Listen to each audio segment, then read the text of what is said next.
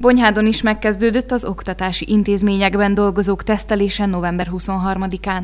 A helyi Petőfi Sándor evangélikus általános iskolában szinte mindenki vállalta a vizsgálatot.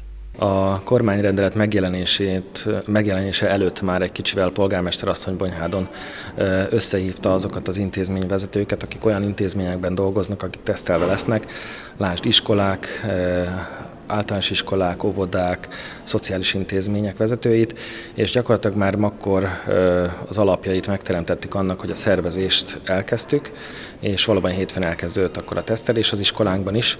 Itt a Petőfi általános iskolában hétfőn 80 főt teszteltek, nálunk a technikai alkalmazottakat is, és nálunk nem volt pozitív. Úgyhogy ahogy Szekerci Zsuzsa kolléganőm mondta, negatív az új pozitív, ennek nagyon örülünk.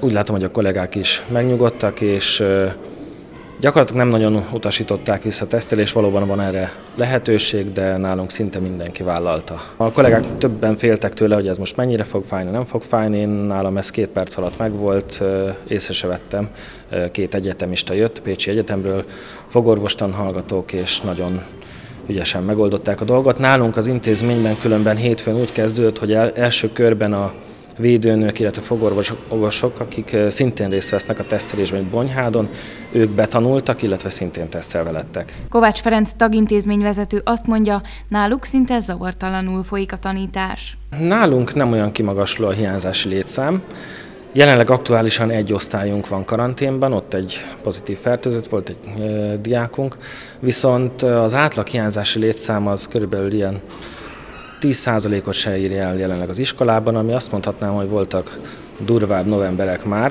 tehát ilyen szempontból nálunk nincsen probléma. Szerintem ez részben annak is köszönhető, hogy itt az általános iskoláról van szó, tehát a legtöbb diák azért délutánonként otthon van, főleg esténként, egy nyolc után meg most már eleve mindenki, de azért ez nem egy kis középiskola, ahol esténként összejártak régebben a gyerekek. Tehát nálunk emiatt szerintem lassabban terjed így talán a vírus, az iskolában pedig nyilván a intézkedési tervet, amit kötelező volt elkészítenünk, ezt betartjuk.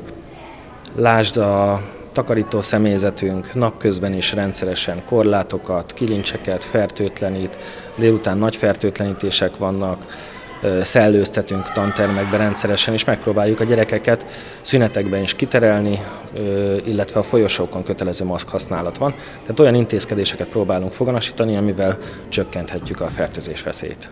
Bár zöggenőmentesen működik az iskola, a digitális oktatásra is át tudnak állni. Például a jelenlegi karanténban lévő egy osztályt sem hagyják a tanárok otthon tétlenkedni. Ha nálunk az általános iskolában valaki digitális oktatásra kényszerül, mert karanténba kerül, akkor a kollégák úgy szokták megoldani, hogy Alapvetően pedagógiai szabadságuk van, tehát hogy milyen felületet használnak, az rájuk van bízva. Az iskola biztosítja ettől függetlenül a Teams alkalmazást, amivel a gyerekekkel élő kapcsolatot is lehet létrehozni, illetve Google Classroom-on töltenek föl kollégák anyagokat, Google Meet, tehát elég változatos, hogy milyen felületeken találják meg a gyerekeket és tartják az óránkat, de tehát ez nem azt jelenti, hogy egy hétig vagy tíz napig általában otthon vannak és nem csinálnak semmit, hanem azért kapnak anyagot. A Petőfi Sándor evangélikus gimnáziumban már más a helyzet. Ebbe az intézménybe már csak két osztály jár, hiszen a kilencedik osztályba vagy az afeletti évfolyamokba járó diákokat online oktatásra kötelezte az operatív törzs.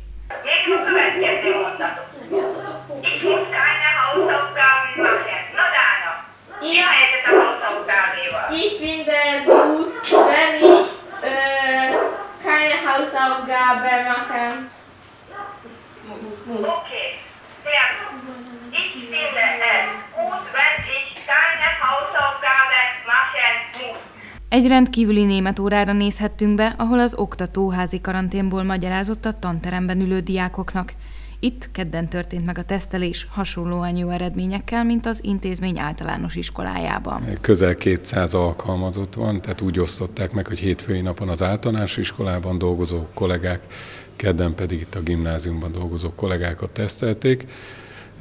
Nagy örömünkre szolgál, hogy egyik helyen sem mutattak ki pozitív eredményt, tehát reméljük, hogy, hogy ez így is marad, és, és ez a rózsás helyzet fokozódik.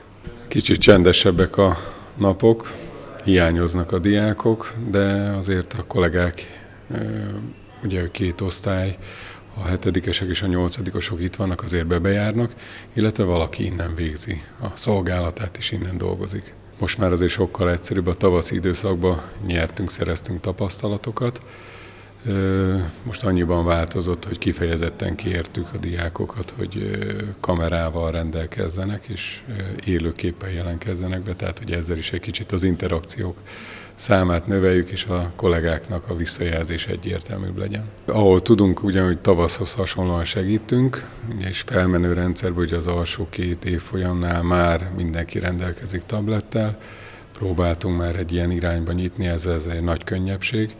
De hát a mai világban azért az összes telefon, szinte az összes telefon rendelkezik ilyen lehetőséggel, hogy ne zárja ki magát a diák az oktatásból.